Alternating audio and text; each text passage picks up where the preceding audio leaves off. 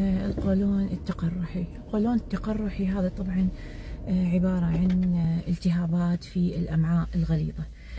التهابات وجروح في الأمعاء الغليظة تؤدي إلى إسهال ألم أثناء الخروج عزكم الله. إمساك شديد أو إسهال شديد. دم أو نزيف أثناء الخروج. ألم في البطن. نقصان في الوزن. تعب وإعياء عام للجسم. أعراضه جدا صعبة وهو يعتبر من الأمراض المتعبة للإنسان. آه، ما يقدر يتحملها والتعب النفسية جدا لأن أعراضها يعني ممرضة أعراضها فعلا ممرضة. يبين على الإنسان أنه معتل يعني مو شيء تقدر تخشه وهو يعتبر من الأمراض المناعية. آه، كعلاج للأسف ما له علاج واضح.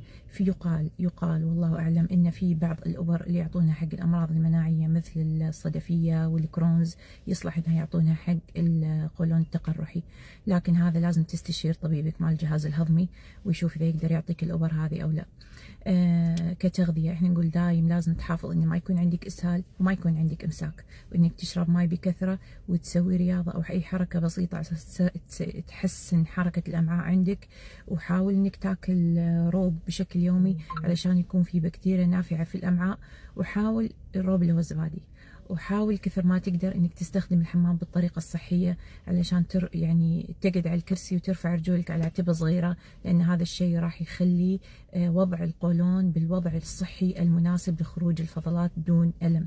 آه هذا شيء جدا مهم آه ناس كثيرة غفلت عنه على أساس كذا صار يعني بالفترة الأخيرة في أمراض كثيرة تخص القولون. آه الفيديو أنا حاطته عندي طريقة استخدام الحمام بالطريقة الصحيحة. أتمنى إن الكل يشوفه اللي ما شافه يشوفه آه لأن هذا شيء جدا مهم وخطوة جدا قوية لتخفيف الإحساس بالألم لأي إنسان يعاني من القولون.